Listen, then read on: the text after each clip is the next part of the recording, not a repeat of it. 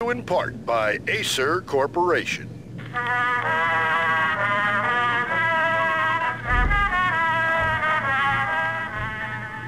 My lady. My lord? My lady, there is a matter of great importance I must bring to your attention. My lord, there is?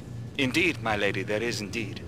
From the very first moment we met, upon that distant forest path, there has been sunlight in the autumn leaves blazing like the colors of your hair. Oh, my lord, you should not speak so. But my lady, I must, I must. My lord, no! I forbid you. This cannot be. This must not be. But why, my love, why? My lord, it is too dreadful. Do not force me to speak the words. My lady, I beg of you, I must know. I would rather die than not know. Yes, my lord, we should both be dead, for this shame is too great for the living. My lord, I am... My lord, I am your long-lost sister.